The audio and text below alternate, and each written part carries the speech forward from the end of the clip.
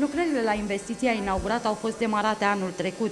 Fabrica va produce structuri ușoare pentru industria de divertisment și este a doua investiție a olandezilor de la ProLife după cea de la Slatina. Complexul de, de, de, de factori care se pun uh, împreună când, când se creează un astfel de, un as, o astfel de fabrică într-o, într-o zonă ca Pietral, ce atrage, ce atrage pe orizontală și cât de important este ca aceste fabrici să existe, să crească și să avem din ce în ce mai multe și nu numai în marile centre industriale, ci și în locuri, în centre urbane mici sau chiar în zone rurale. Valoarea totală a investiției se ridică la peste 18 milioane de lei, din care 6,4 milioane lei sunt fonduri europene nerambursabile prin programul operațional sectorial.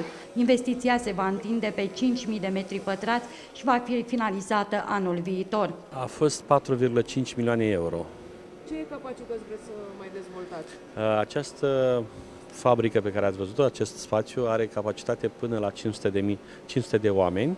În momentul de față sunt în jur de 150 de oameni care formează un singur schimb, ceea ce înseamnă că ne dorim ca în următoarele luni să ajungem la trei schimburi, ceea ce înseamnă semnificativ să ajungem la capacitatea pe care ne dorim. Investiția are un impact major atât social cât și economic pentru oamenii și administrația din zonă. Înseamnă enorm, pentru că rezolvă două probleme majore ale administrației locale, odată resurse financiare la bugetul local care sunt necesare pentru dezvoltare și funcționare, având în vedere mai ales că în complexul CFR, care asigura până la urmă finanțarea bugetului local, s-au deschizat foarte multe posturi.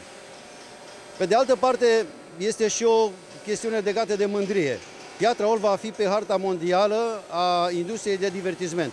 Sunt locurile de muncă pentru noi în județul nu o mare problemă pentru, pentru Slatina, dar pentru județul Olt e o, sunt o mare problemă. Astăzi, la Piatra Olt, așa cum știți cu toții, un eveniment foarte important, spun eu, deja vorbim de 200 de locuri de muncă, vorbim în viitorul apropiat de 500 de locuri de muncă, ori asta înseamnă un lucru extraordinar. Dezvoltarea afacerii de la Piatra Ol va conduce pe orizontală la crearea altor câteva sute de locuri de muncă.